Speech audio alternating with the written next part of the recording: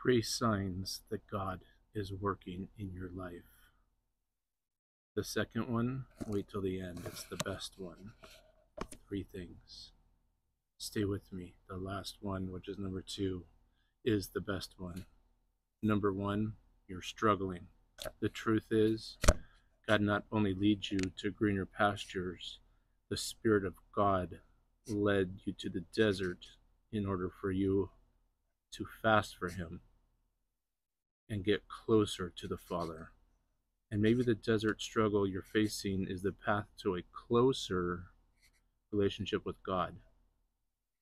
God will often put you in an uncomfortable situation because He knows others would change their mind, but you never will. I'm currently in an uncomfortable situation of being with God. And you know what? It's turning out good. It will for you. So remember, if you're struggling, that's when God is working for you, not against you. Keep that in mind. Number three, remember I said number two is the best one. Number three, life doesn't feel the same. This is true too. It changes. Wait till I read this to you. It changes. My life is changing for my wife, my family, our kids, everything. Work, it's all good. Trust me. When your in when your interests begin to change and your life doesn't really give you life anymore, this is a sign that God is working to take time into a new season. Your seasons are changing. God is changing your seasons. I promise you. Listen, He's changing your seasons. Before God moves you to a new season, He will first change your heart about the current one. So you'll, you'll see a slight difference, and the energy will, will motivate you. You'll, I promise you, this is exactly what I'm going through right now. It is so true, ladies and gentlemen. It is so true for you, especially. Listen. He will first change your heart about the current one. Remember that. This will lead you to a place of unrest, of consulting God because you don't understand what's happening. We don't need to understand. Not just with this, but we don't need to understand. Follow in God's word and where He leads you, and trust me, you're going to be okay. I promise you're going to be okay. For He is working with you and on you not just with you, but on you, changing your attitude, your personality, your motivation, your energy levels. It's all going to change. Trust me. Remember, three signs. it's it's working. It's going to work for you. We're going to go to the conclusion because again, number two, number two, I, I, I'm telling you guys, God is working on us 24 7, 365. He never stops not even for you. He never stops. In fact, he even works on eternity, and the work will continue. There will be no relationship with God the Creator if it wasn't for the struggles, if it wasn't for being in the wrong, the right spot at the right time. You might not feel you are.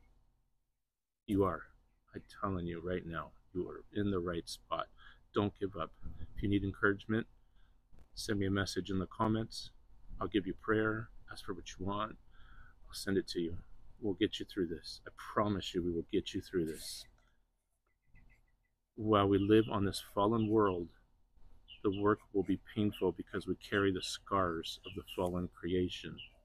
People that have fallen and given up are on the weight of your shoulders. Don't give up. He's right here with you. I promise you.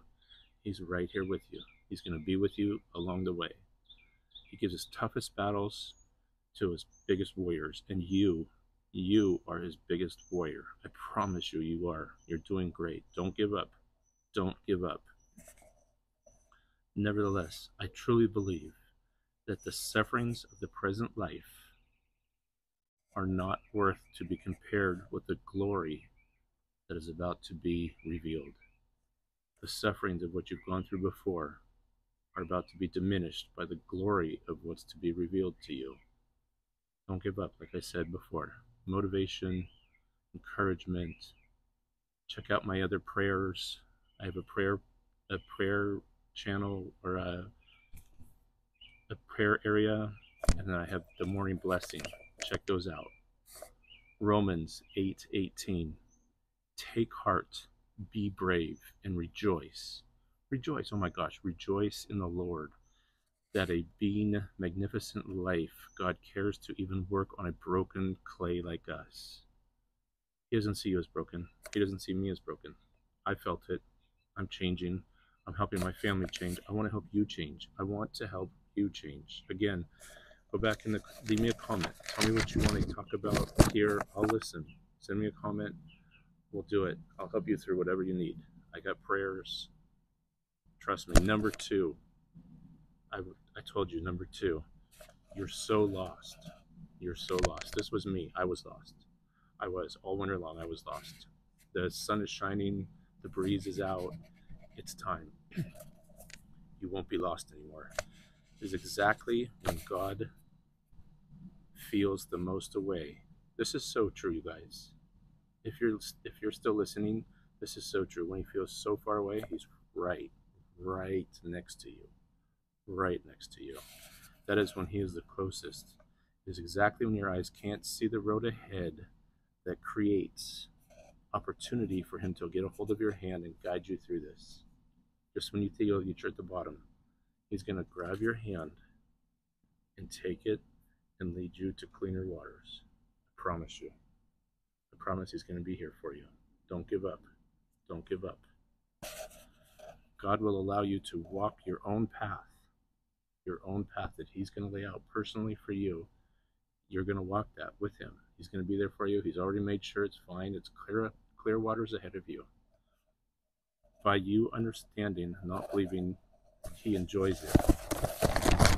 But because we often only lean, we often only learn by experience.